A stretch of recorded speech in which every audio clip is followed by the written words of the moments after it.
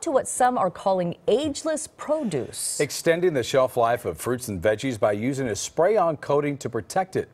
Kanana's Hermela Aregawi has the inside scoop on the future of fresh.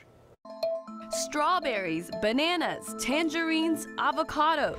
As soon as we pluck these, it's like a little time bomb starts ticking. That time bomb is otherwise known as the ripening process. All fruits and vegetables experience it. All produce is perishable. And all that rot leads to an avalanche of wasted food. In the United States, we're, reduce, we're losing about 200 pounds of food per, uh, per person per year. But what if instead of staying yellow three days, a banana could stay fresh for more than a week? An avocado, two weeks. A mango, nearly a month. There's less that you would throw away.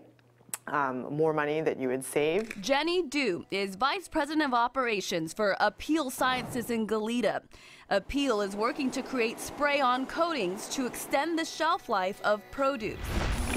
To create a spray-on edible second skin for fruits and vegetables, chemists have been working to isolate key components from plants we're already eating. But is it safe to consume? We asked USC food scientist Roger Clemens. I suspect we won't have any adverse event. As for the coating itself, the FDA has actually approved this in a grass GRAS document generally recognized as safe.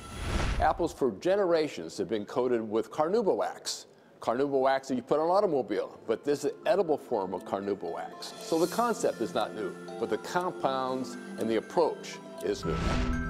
Asparagus, limes, and avocados sprayed with Apeel will start showing up in local Ralph's and Costco stores early next year, and the company hopes to expand to more produce soon after that. We hope not too far off in the future that you can walk into your grocery store and see a whole section, not just a few categories of Apeel produce.